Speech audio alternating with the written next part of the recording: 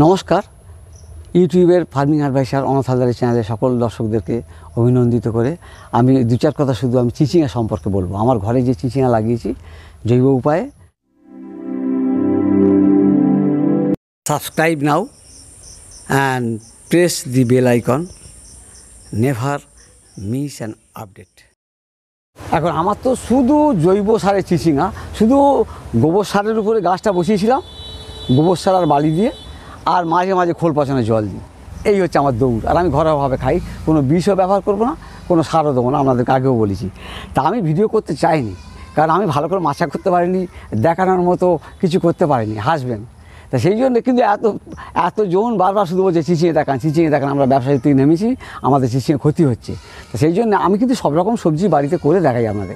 আমি দু রকম জাতের করেছি চিচিঙা একটা হলো আপনার পটল চিচিঙা বলি আমরা, ছোটো হয়, বেশি ফলে, আর একটা লম্বা চিচিঙা। চিচিঙাটাকে স্নেক গোট বলে লম্বা বেশি। আপনারা যদি মনে করেন, তাহলে Coimbatore selection Pune selection PN one PN two এরকম বাজারে বহু হাইব্রিড জাত, দেশি জাত সব রকম আছে, ওগুলো আপনারা লাগাতে পারেন। এ খুব সস্তার চাষ, তবে পাতাটা খুব মসৃণ হয়, খুব লাউ কুমড়ো লাউ তবু একটু মসৃণ আছে, কুমড়ো, আমার শশা বা ঝিঙে কিছুটা খসখসে হয়, এ কিন্তু খুব মসৃণ। এতে ওই পোকার আক্রমণটা বেশি হয়, সেই নিয়ে দু চার কথা বলব। আর আমার দেশি জাতের চিচিঙা এই এই এই এই যে লম্বা এরকম খাচ্ছি আজকের, ধরুন এক মাস খাচ্ছি। তা বলি আজ দেখ, বারবার বলছে কেন? ঠিক আছে, এটা দেখাই। চিচিঙে বাগান, এটা- এবার থেকে আসো। আর এটা খুব সহজ চাষ, যেমন বসাতে হয় দেখেছি ওইভাবে বসাবেন, হালকা মাটি করে। গোবরের ভাগ বা ভার্মি কম্পোস্টের ভাগ বেশি দিয়ে, তার মধ্যে বালি মিশিয়ে, দানাটা শক্ত তো এক রাত জলে ভিজিয়ে রাখলে খুব ভালো হয়। তারপরে বিশোধন করে বসাবেন। আগে বলেছি আমি যেমন শোধন করি, করে বসাবেন। তারপরে গাছটা বেরোতে আরম্ভ করল। কলকাতার লোকের শুধু কলকাতা না, যারা বিশেষ টপ বাগানি, ছাদ বাগানি বা যারা শৌখিন চাষি, তাদের জন্য একটা কথা বলব। আপনারা ওই নিম পাতার ফোটাতে যেতে হবে না। বাজারে নিমা ঋণ, নিমা জল অ্যাজা ডাইরেক্টিন গ্রুপের ওষুধ, সব ওই ওই নিম নিম ঘটিত ওষুধ ওই পাওয়া যাচ্ছে।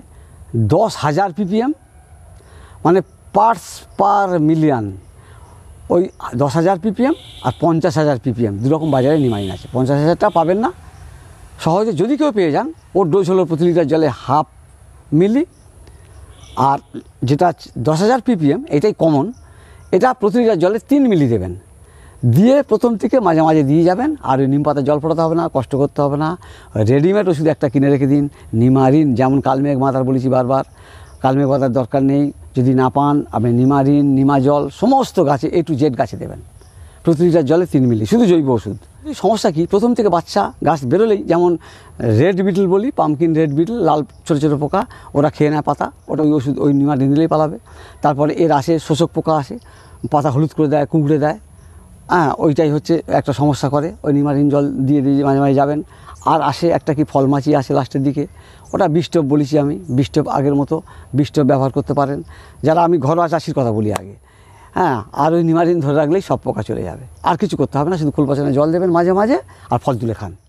চলে যান। আর রোগের জন্যে পা- পাতা হলুদ হয়ে গেলে অর্থাৎ ছত্রাক ঘটিত রোগ লাগলে ওই প্যান্থার টিভি বলি আমি বায়োডার্মা ইকোডার্মা ইকোফিট অর্থাৎ ট্রাইকোডার্মা ভিরিডি ঘটিত ওষুধ যেগুলো বাজারে পাওয়া যায়, এই ওষুধগুলো ট্রাইকোডার্মা, বায়োডার্মা, প্যান্থার টিভি, ইকোফিট প্রতি লিটার জলে পাঁচ থেকে ছ গ্রাম মিশিয়ে ওটা স্প্রে করবেন। বা কেউ যদি আগের মতো যদি বলেন যে মাঝে মাঝে আমি হলুদ গুঁড়ো এক লিটার জলে দশ গ্রাম দিয়ে মাঝে মাঝে স্প্রে করব, ওটা করলেও দমন করা যাবে। এই একটা ব্যাপার। যারা রাসায়নিকে যাবেন না আর কোনো সার দেবেন না এতে। কিছু সার দেবেন না, এই একটা ব্যাপার। আর এর আরেকটা হয় কি, ডগাটা, গাছের ডগাটা মাথাটা মোটা হয়ে যায়, গিয়ে ছুটতে দেয় না, আর ফল ফুল আসতে দেবে না। একটা পোকা ওই মাথাটাকে মোটা করে দেয়। ওইটার ভিতরে যদি ব্লেড দিয়ে মানে কেটে ফেলা যায়, অনেক সময় দেখা যায় ছোট্ট ছোট্ট একদম লাল লাল টিপ টিপ পোকা আছে, অনেক সময় পোকা দেখাও যায় না। ওইটা মাথা ফোলা রোগ বলে, চিচিয়ে গাছের। এই মাথাটা ফুলিয়ে দেয়, দিলে আর বাড়তেও দেবে না, ফল আসতেও দেবে না। ওর জন্যে প্রথম থেকে যদি আপনি নিমারিনটা দিয়ে যান, তাহলে পোকাটা আসতে পারবে না। আর এর যে পাতা কুঁকড়ে যায়, পাতাটা কুঁকড়ে দেয়, আপনি নিমারিনটা বারবার কেন দেবেন? এবারে এক লিটার জলে পঞ্চাশ গ্রাম কম দামে রসুন কিনে আনুন না, বাজারে যেগুলো ওই খোসা ছাড়ানো পাওয়া যায়। ওই পঞ্চাশ গ্রাম বা চল্লিশ গ্রাম থেতো করে জলটার মধ্যে গুলে নিয়ে ওইটা ছেঁকে দেবেন। বা তামাক পাতা বলেছিলাম, একশো গ্রাম তামাক পাতা এক লিটার জলে সারা রাত ভিজবে। তারপর সেইটা সকালে উঠে ভালো করে ঘষে ঘষে নিয়ে, ছেঁকে নিয়ে, ওতে আরও দু লিটার জল দিয়ে, মোট তিন লিটার দাঁড়াল, সেইটা নিয়ে স্প্রে করবেন মাঝে মাঝে। এবার অনুপাতটা কমিয়ে নেবেন, আপনার যেমন লাগবে। অর্থাৎ বলতে চাচ্ছি, পোকাকেও মাঝে মাঝে ঘোরাতে হবে, পোকাকেও মাঝে মাঝে ঘোরাতে হবে, এই হচ্ছে ব্যাপারটা এই ওষুধটা, এক ওষুধ শুধু নিমারিন ধরে রাখবেন না। এইভাবে আপনারা ঘুরিয়ে ঘুরে চলুন, দেখবেন চিঁচিয়ে অনায়াসে খেতে পারবেন। আর যারা মাচা করে শৌখিন করেন করুন, আমি করতে পারিনি, সত্যি কথা বলি, কিছু মনে করবেন না। এই একটা ব্যাপার হলো, আর মাথাটা মোটা হবে না, যদি আগে থেকে এগুলো দিয়ে যান। আর আমাকে যদি এক্ষুনি প্রশ্ন করেন না যে, স্যার সব থেকে আপনার কাছে কোনটা চিন্তার চাষ? আমি বলব সব থেকে চিন্তার চাষ চাষিদের লঙ্কা চাষ। তারপরে কোনটা চাষ? টমেটো। তারপরে কোনটা চাষ? করলা। চিচি গাছ অনেক পরে, নিচে আছে। অতএব সমস্যা, অত অত অত গভীর নয়। গভীর সমস্যা না শুধু মাঝে মাঝে এগুলো দিয়ে গেলে হবে। আর গাছকে আপনি বেশি তাতাতে যাবেন না। অর্থাৎ গাছকে আপনি বেশি বেশি চকচকে, ঝকঝকে করতে যাবেন না। বলে রোগ পোকা তাড়াতাড়ি চলে আসবে। আরেকটা বলি, আপনাদের বাগান ছাদ বাগানি, টব বাগানিরা বিশেষ করে শুনে রাখুন, আপনাদের বাগানের চাষবাসে কিন্তু পোকা ঘুরঘুর করছে এই করছে। আমরা যেমন মাঠের চাষি, আমরা যেমন বিপদের মধ্যে আছি, পোকাগুলো ঘুরপাক খাচ্ছে, আপনাদের চাষবাসেও কিন্তু শত্রু ঘুরছে, পোকা ঘুরছে কিন্তু। আমি সংক্ষেপে একবার বলে দিই, তাহলে প্রথম থেকে ওই নিমারিন বা নিমা জল, প্রতি লিটার জলে তিন মিলি বা কালমেঘ মাথা দু মিলি, এটা দিয়ে গেলেন সমস্ত পোকার জন্য চলে যায়। হলুদের জন্যে পাতা হলুদ হয়ে যাওয়ার জন্য, ফাঙ্গাস লাগার জন্য, ছত্রাক হলুদের গুঁড়ো দশ গ্রাম প্রতি লিটার জলে আজকে দিলেন, আবার পনেরো দিন পরে ট্রাই করে আমরা ভিডি হ্যাঁ ওই প্রতি লিটার জলে ছ গ্রাম, মাছ থেকে ছ গ্রাম বলেছি, দিয়ে একবার স্প্রে করলেন। ওটা ওটা মাঝে মাঝে মাঝে মাঝে দিয়ে গেলে চলবে। আর- পোকা তাড়ানোর জন্য আরেকবার যদি বলি, রসুন এক লিটার জলে পঞ্চাশ গ্রাম মিশিয়ে ওটা থেঁতো করে নিয়ে, জলটাকে ছেঁকে নিয়ে স্প্রে করুন, পোকা দিয়ে যাবে। এগুলো রেফিলেন্ট বলি আমরা, এগুলো পোকা চলে যাবে। এইভাবে ঘুরিয়ে ফিরে আপনার হাতে যা আছে, সেইটা নিয়েই পোকা তাড়ান। আর রোগের ওষুধ, ওইটা যা আছে ওই নিয়ে কাজ করুন। খুব বেশি হলুদ হয়ে গেলে গাছ গোড়ায় ঢালতে হবে। আপনাদের আরেকটা দিই কায়দা। তখন দ্বিমুখী সুরক্ষা চক্র নিতে হবে। গোড়াও দেবো ওই টাইগ্রা ভেড়ি স্প্রে করব হলুদ গুঁড়ো। এইভাবে দ্বিমুখী সুরক্ষা চক্র নেবেন। একটা একটা ভালো প্রসেস জেনে রাখুন। এইভাবে আপনারা এগিয়ে চলুন, আশা করছি অসুবিধা হবে না। মাথা চ্যাপটাও রোগ আসবে না, অর্থাৎ পোকাও আসবে না, এমনি পোকা আসবে না নর্মালভাবে খেতে থাকুন আজকে আমি এই দুটো জাত এই একটা, সবুজ জাত, এই দুটো। চলুন, এবার আমার অন্য বাগানটা মানে পাশের বাগানটা মানে এই গাছটা যেটা হয়েছে, আমি তো করতে পারিনি, যেটা এবার আমি পটল চিচিটা দেখাবো। পটল চিচিটা কেমন হয়েছে, দেখি চলুন। দেখুন, আগে তো আমি লম্বা যাত্রা দেখিয়েছি, এটাকে বলা হয় পটল চিচিঙা আমার ঘরেরই। এতে একটু ছোট সাইজের হয়, কিন্তু ফলে বেশি। আর আমি এতে কিছু দিইও না, আমি তো বলছি শুধু খোল পচানো জল, আর কিছুই নয়, আর ওষুধ টষুধ কিছুই মারিনি, আমি ঘরে খাচ্ছি। লম্বা দেখেছি এই যাত্রা দেখুন, এটাও করতে পারেন, এটা কিন্তু পটল চিচিঙা বলে। আপনার প্রিয় সিলেকশান আমি যে জাতগুলো বলেছি ওই জাতগুলো পুরোনো জাতগুলো করতে পারেন এটাও করতে পারেন কোনো অসুবিধা নেই। যে আমি বৃষ্টি হচ্ছে বলে খোল পচানো জলও দিতে পারছি না। আপনারা যে সমস্যা করেন না আমারও সমস্যা। গোড়া না শুকনো হলে খোল পচানো জল দেবো কী করে? সেটা দিতেও পারছি না। এই আকাশটা একটু আজকে থেমেছে বৃষ্টিটা এই যদি হয় কালকে হাতে জল দেবো। আবার নতুন রূপ নেবে আবার নতুন যারা ব্যবসা করছেন তাদের জন্য কিছু বলতে পারি কি না এই সংক্ষিপ্ত সময়ে? যারা ব্যবসা করছেন তাহলে গাছটা বেরোলো গাছটা বেরোলোর সঙ্গে সঙ্গে লাল পোকা আসবে। তোমরা লার্জ স্কেলে করেছ, প্রচুর ব্যবসা করে খাবে, বিক্রি করবে।